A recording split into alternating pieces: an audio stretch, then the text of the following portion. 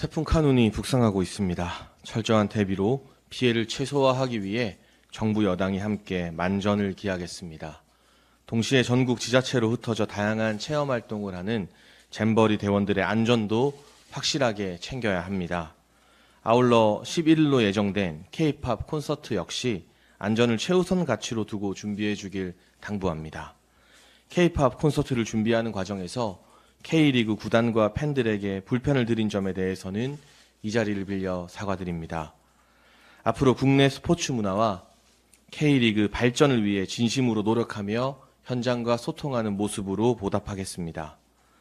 이처럼 태풍과 잼버리 등 시급한 현안이 많은데 한편에서는 깡패들이 사회를 어지럽히고 있습니다. 법정에서 검사에게 시비를 걸고 재판을 지연하기 위한 목적으로 난동을 피운 법조 깡패가 등장했습니다. 변호사의 탈을 쓴 법조 깡패의 보스는 이재명 대표입니다.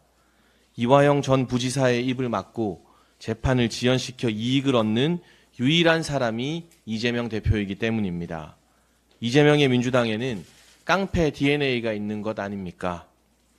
민주당이 그토록 검찰의 깡패 수사, 마약 수사를 반대한 결과 강남에서는 마약에 취한 깡패가 롤스로이스로 여대생에게 중상을 입히는 사건이 발생했습니다. 그러고도 반성하지 않고 사건을 취재하는 유튜버와 법조인들을 협박한다고 합니다. 당장 이 마약 롤스로이스 깡패를 구속하고 그 일당의 범죄 혐의에 대해 대대적 수사를 시작해야 합니다. 윤석열 정부와 국민의힘은 마약과의 전쟁, 깡패와의 전쟁에서 한 걸음도 물러서지 않겠습니다. 부디 깡패 좋아하는 이재명의 민주당이 발목 잡지 않기를 바랍니다.